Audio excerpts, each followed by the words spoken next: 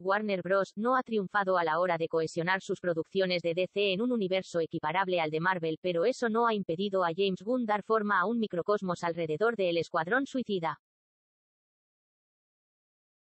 Tras capitanear el reboot de este grupo de antihéroes en la gran pantalla, el director y guionista se apresuró para sacar adelante El Pacificador, un spin-off televisivo centrado en el personaje de John Cena, y al parecer ya tiene otra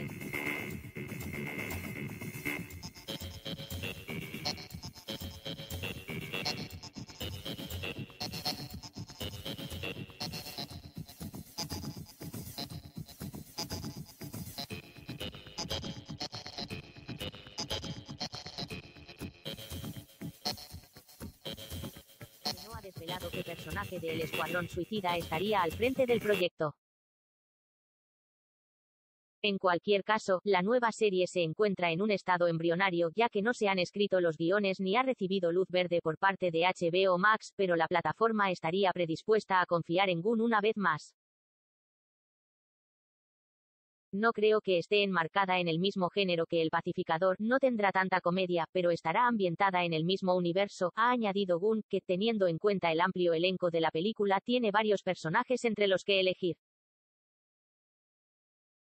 A todos ellos podremos verles en HBO Max a partir del 1 de febrero, que será cuando el Escuadrón Suicida esté disponible para los usuarios españoles después de su paso por los cines.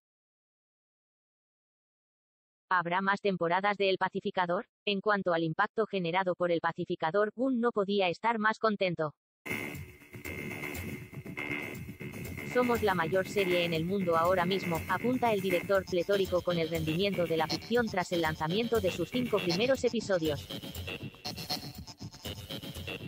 Cuestionado acerca de si desarrollará una segunda temporada protagonizada por este patriota tan extravagante, las sensaciones son muy positivas, hay muchas posibilidades.